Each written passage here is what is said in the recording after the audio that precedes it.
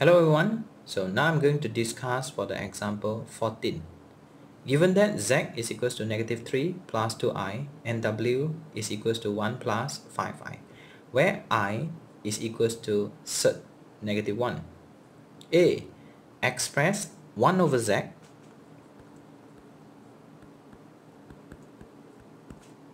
plus with 1 over w. The question asks us to express 1 over z plus 1 over w in the form of a plus bi, where a and b are real number.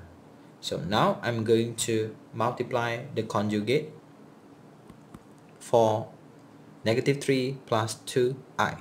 So we will have 1 over negative 3 plus 2i and my conjugate will be negative 3 minus 2i over negative 3 minus 2i.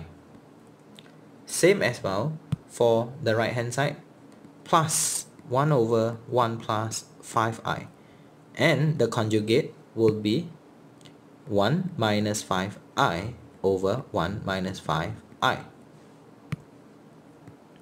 Next, I'm going to expand. So we will have negative 3 minus 2i over 9 plus 4. Continue. 1 minus 5i over 1 plus 25. Simplify the situation, we will have negative 3 over 13 minus 2i over 13 plus 1 over 26 minus 5i over 26. So kindly rearrange the situation. So we have negative 3 over 13 plus 1 over 26 minus 2i over 13 minus 5i over 26. So after we simplify, we will have negative 5 over 26 minus 9i over 26. So that will be the answer for 1 over z plus 1 over w. For example 14b, express the conjugate of w in the polar form. So in here, the conjugate for W will be equals to 1 minus 5i. Step number 1, we are going to locate the position of conjugate of W. So in this case, the location is in the fourth quadrant. So here we have our conjugate of W. Next, we are going to find the modulus of the conjugate of W.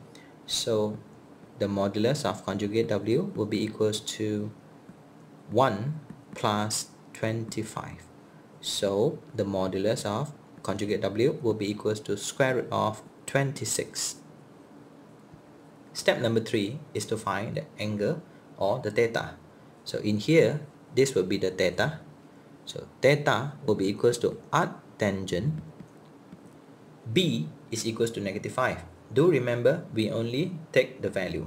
So here we have 5 so theta will be equals to 78.69 in a degree.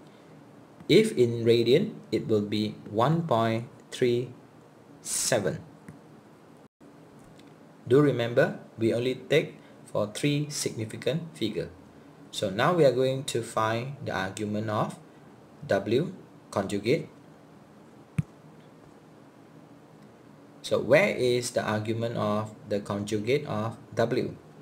So here will be the location, the argument. So in this case, the answer will be negative 1.37 radian.